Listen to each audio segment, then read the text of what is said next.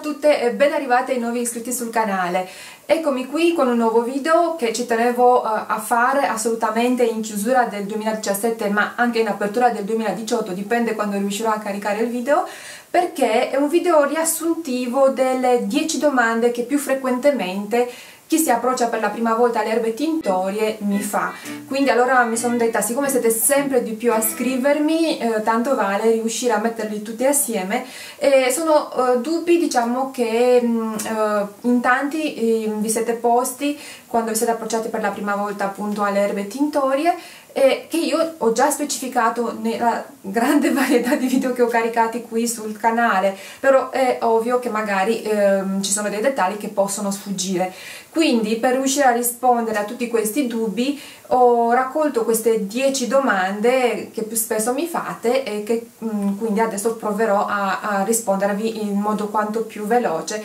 senza insomma perderci in tanti particolari una delle primissime domande che mi state facendo è ho usato l'Ene castano però i capelli non sono venuti proprio castani. Come mai? soprattutto i capelli bianchi. Ebbene mm, c'è da dire che non esiste un'erba tintoria quindi una pianta che la natura ci mette a disposizione che si chiami Ene castano oppure Ene mogano oppure Ene biondo. In natura non esiste una cosa simile. Sono delle denominazioni commerciali che eh, vengono dati a dei mix di erbe tintorie, ok? Quindi mettendo assieme magari l'ausonia di go e altre erbe tintorie potremmo ottenere sui capelli un castano. Il problema qual è? Che questi mix già pronti non, sono, non vanno bene per chi ha una forte importante ricrescita bianca perché? Perché molto mm, facilmente la percentuale di lausonia presente nel mix, di cui noi non abbiamo nessun controllo perché non sappiamo l'esatta percentuale di lausonia presente, non riuscirà mai a coprire ehm, in modo soddisfacente la nostra ricrescita bianca. Ecco perché io di solito eh, vi consiglio sempre, se non avete capelli bianchi da coprire potete usarlo tranquillamente il mix già pronto. Se invece avete dei capelli bianchi da coprire e avete anche delle esigenze particolari in merito al colore da raggiungere, tanto vale mh, mm, fare a casa il mix in base alle vostre, alle vostre esigenze, no? personalizzando uh, le percentuali. E vi ricordo che un minimo del 30% di lausonia è assolutamente necessario nel mix per riuscire a coprire i capelli bianchi ma di come calcolare le percentuali, di come fare il test di prova per eh, essere sicuri di eh, ottenere appunto a casa eh, il mix che desiderate, il colore che desiderate, ve ne ho già parlato in un altro video, magari vi lascerò l'info ai vari video che menziono in questo video nell'info box del video, quindi assolutamente andate lì a controllare se avete la necessità di mh, mm, guardare un video che mh, mm, vi sia sfuggito. Un'altra cosa che vedo anche, soprattutto se metto su Google, schiarire i capelli in modo naturale. Mm, ce ne sono veramente una miriade di articoli in merito che poi alla fine il succo si riduce sempre alla stessa cosa. Quindi non vi fate ingannare dai vari titoli a chiappa click perché non esiste una possibilità di schiarire i capelli in modo naturale, soprattutto con le erbe tintorie o comunque con le erbe ayurvediche. Perché? Perché le erbe eh, tintorie, le erbe ayurvediche, le erbe curative non contengono agenti schiarenti quindi a meno che non siete già bionde e volete eh, diciamo intensificare i vostri riflessi biondi utilizzando appunto della casia ossidata e acidificata con del succo di limone in un infuso di camomilla allora sì magari potrete notare qualche differenza se volete schiarire i vostri capelli dovete in modo obbligatorio ricorrere alle alternative chimiche, quindi ehm, acqua ossigenata e, e insomma eh, le varie altre cose.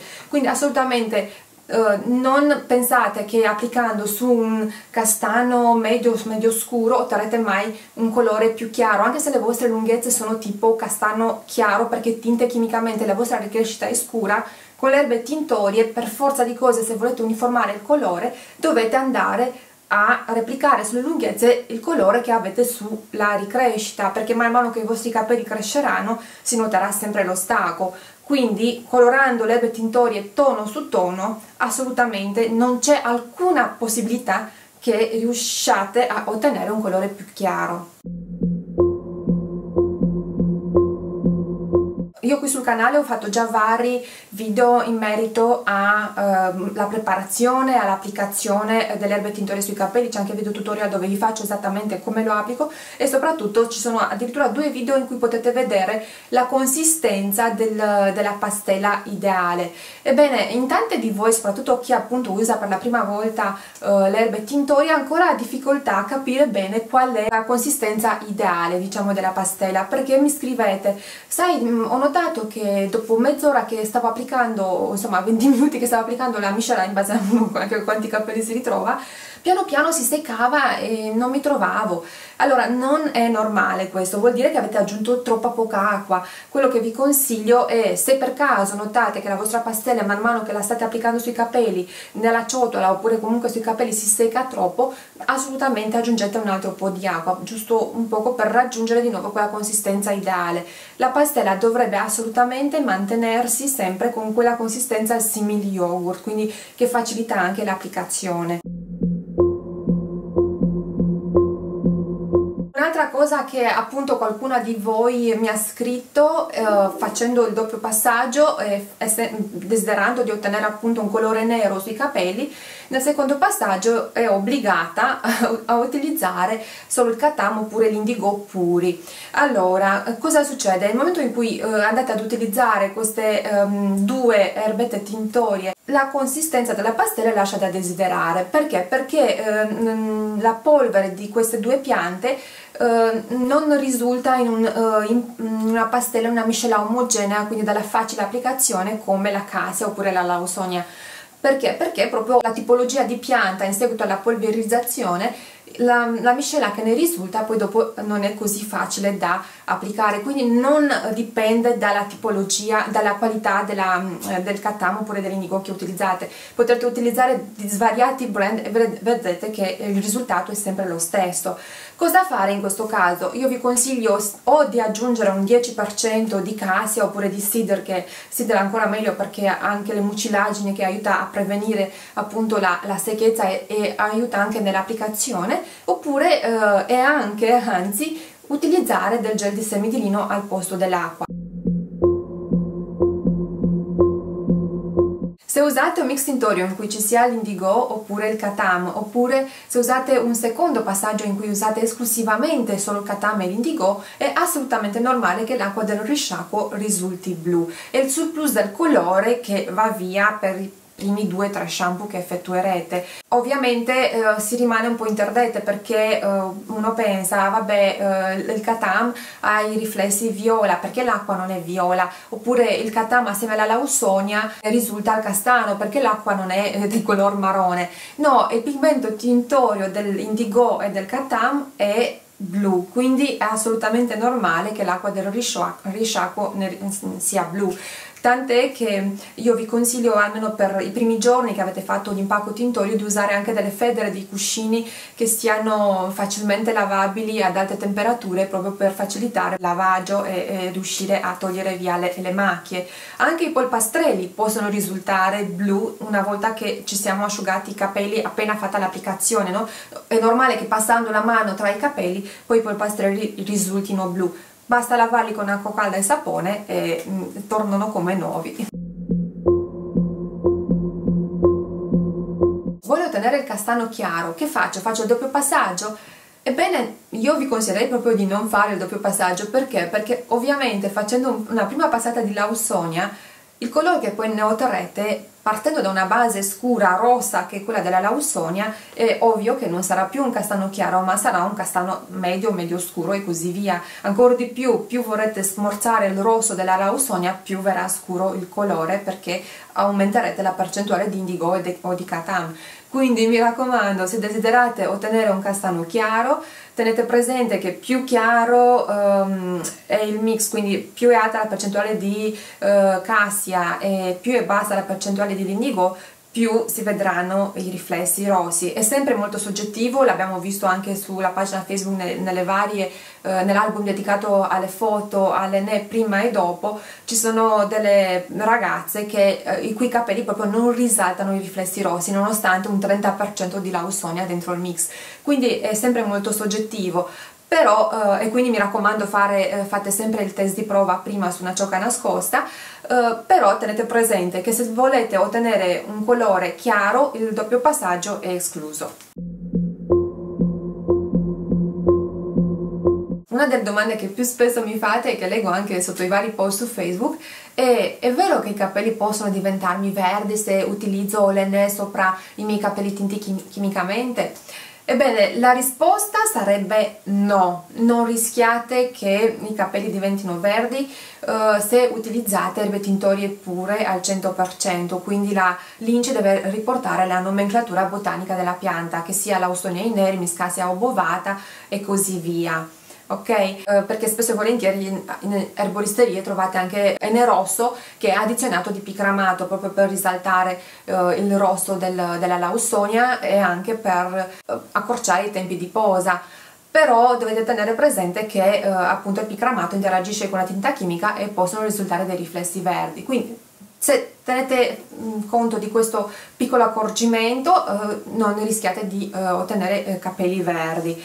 però ci sono ovviamente anche delle eccezioni perché nel caso dei capelli eh, chiari, quindi i capelli chiari decolorati, se abbiamo le lunghezze decolorate, una ricrescita eh, biondo cenere, eh, che vogliamo appunto eh, rinunciare alle tinte chimiche e vogliamo passare ad usare eh, la cassia e il catan per ottenere un, un biondo cenere Ebbene, in questo caso correte grossi rischi di ottenere dei riflessi verdi perché, anche addirittura capelli verdi, perché è facile che eh, sia la casa che il katami interagiscano con uh, le lunghezze decolorate e rilasciano appunto dei riflessi verdi. Assolutamente fate sempre il test di prova prima, quindi questi mix chiari, uh, anche l'N biondo che trovate i mix pronti, no? andrebbero utilizzati assolutamente su dei capelli chiari naturali, quindi non capelli decolorati o trattati chimicamente.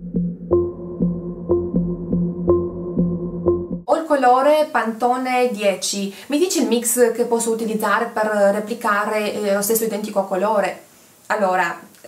premessa, parliamo di erbe tintorie, quindi eh, erbe al 100% naturali che vanno a colorare i nostri capelli tono su tono, non vanno a sostituire il pigmento naturale del capello con un pigmento sintetico, quindi replicare con le erbe tintorie una tinta chimica è assolutamente impossibile, ok? Quindi mi raccomando, quando vi approcciate uh, alle erbe tintorie, quindi quando fate una scelta salutare per la salute dei vostri capelli, tenete presente questo. Io assolutamente metto sempre le mani avanti e lo dico a chiunque mi contatti, um, e ha delle aspettative altissime e si aspetta di andare incontro ad un'esperienza molto simile a quella delle tinte chimiche. Le erbe tintorie sono assolutamente un mondo ben diverso, quindi eh, se parti da un colore castano scuro e hai le lunghezze rosse, mm, rosso veneziano, è impossibile replicarlo con le erbe tintorie perché qui eh, dove è la ricrescita scura non riuscirai mai ad ottenere quel rosso chiaro ehm, quindi mm, molto intenso. Otterrai sì, potrai avere dei riflessi potrai stratificare il colore nel tempo e, e far sì che si veda molto il rosso ma non arriverai mai ad un rosso chiaro quindi come il, il colore che otterresti con appunto una tinta chimica tanta confusione per quanto riguarda il rabarbaro o la curcuma, che sono delle tintorie riflessanti bionde. Ebbene, si tende a credere che ehm, appunto essendo delle erbe eh, riflessanti che sui capelli biondi danno dei riflessi dorati oppure ramati, si eh, riescano ad utilizzare in dei mix tintori mh, mm, anche più scuri, quindi per un castano medio scuro, per ottenere dei riflessi dorati sui propri capelli. È sbagliato questo perché, come anticipavo, le erbe tintorie non riescono a togliere melanina dai nostri capelli, quindi colorano tono su tono, non sostituiscono i nostri pigmenti naturali. Quindi se partiamo da una base uh, scura, al massimo uh, riusciamo ad ottenere un, un, castano più caldo, riusciamo ad ottenere un castano più ramato, ma assolutamente non vedrete i riflessi dorati. Ci tengo a dirlo perché poi dopo magari ci rimanete male perché ci provate e non vedete questo riflesso dorato. Quindi il rabarbaro e la curcuma danno questi riflessi dorati sui capelli chiari, quindi che sono non so, un castano chiaro, un biondo, un biondo cenere, un biondo dorato, ma assolutamente non uh, vedrete questi riflessi dorati su una base naturalmente scura. Un'ultima cosa che ci tengo a precisare prima di chiudere questo video riguarda gli impacchi con le erbe eh, curative. C'è chi mi scrive, guarda ho fatto per la prima volta l'impacco con la cassia ma non è che ho notato grandi differenze. Ebbene, dovete sapere che come in tutte le cose solo la costanza ripaga, quindi se vogliamo vedere dei risultati dobbiamo assolutamente essere costanti dopo un'unica applicazione non è che potremo ritrovarci con la chioma da leone. È vero che potrebbe anche succedere perché è tutto molto soggettivo e ogni capello è a sé. Però dovete anche capire che eh, è come mm, non so applicare per la prima volta una crema sul viso e vedere che siamo ringiovaniti di 10 anni non esistono i miracoli in natura e quindi non ce lo dobbiamo aspettare neanche dagli impacchi curativi. Fate gli impacchi almeno una volta a settimana e vedrete eh, insomma nel, nel, tempo che assolutamente la chioma migliorerà tantissimo ma anche il cuoio capelluto Un'ultimissima cosa che riguarda chi utilizza l'erbe tintore per la prima volta per coprire i capelli bianchi. Ci sono tante persone che mm, magari non hanno mai usato uh, neanche le tinte chimiche, ci sono persone che vengono da anni e anni di tinte chimiche che si fanno dal parrucchiere. Utili iniziare ad utilizzare le erbe a casa risulta un, un po' laborioso per quanto eh, ci possono essere i tutorial appunto in cui vi faccio vedere come si applicano e così via mi scrivete che dopo la prima applicazione i capelli bianchi non sono coperti in modo uniforme e vi chiedete come mai. Bene, allora c'è una uh, riflessione da fare, se i capelli bianchi vengono coperti uh, qui e qui non vengono coperti, l'unica risposta è che il pigmento è dappertutto, quindi la miscela uh, se è ben distribuita dappertutto dovrebbe coprire dappertutto quindi la conclusione è che è normale che le prime volte, finché non prendete un po' di dimestichezza con appunto il mm, distribuire in modo uniforme la miscela sui vostri capelli, è normale che magari ci sia qualche fail, quindi che ci sia qualche zona dove eh, i vostri capelli non sono ben coperti, eh, ben coperti da, dalla tinta, quindi assolutamente dopo vi ritrovate che sono magari giallini e, e così via. Comunque sul blog ci sono veramente tantissimi articoli eh, in merito alla copertura dei capelli bianchi, cosa magari sbagliate se poi vi ritrovate con i capelli che appunto non sono uh, ben uh, colorati o ben coperti. Erano queste in grande le domande che mi ero segnata perché sono quelle che più spesso mi fate quindi uh, ci tenevo assolutamente a venire incontro a chi di voi perché ne siete sempre di più e che sono un po' che rallegrarmi perché noto una sempre maggiore consapevolezza su quello che usiamo sulla nostra cute, su, sui nostri capelli, sulla nostra pelle purtroppo chi si rivolge all'erbe tintoria arriva di solito, come è successo anche a me anni fa, in una situazione disperata perché vede la chioma ehm, disidratata, sfibrata, spenta, la, il cuoio capelluto che prude e fa male, quindi capisco assolutamente eh, la vostra eh, disperazione e ricerca di una eh, diciamo alternativa salutare proprio eh, per i vostri capelli, la vostra cute, ma anche per il vostro benessere. Niente, se vi viene qualche altro dubbio, qualche, avete qualche altra domanda, lasciatemi eh, un commento qui sotto al video e sarò ben felice di rispondervi. Mi dispiace adesso non, non mi viene eh, quest'ultima cosa che eh, ho visto che spesso mi chiedete, se mi viene in mente lascerò io stessa un commento qui sotto così lo potete leggere eh, tutti quanti. Um, se il video vi è piaciuto mi raccomando lasciate il solito like condividete il video con le vostre amiche oppure con uh, insomma, uh, i vostri familiari che magari avrebbero uh, interesse ad approcciarsi alle erbe tintorie, sono sicura che troveranno degli spunti e delle informazioni utili in questo video. Noi ci vediamo nel prossimo tutorial e buon 2018!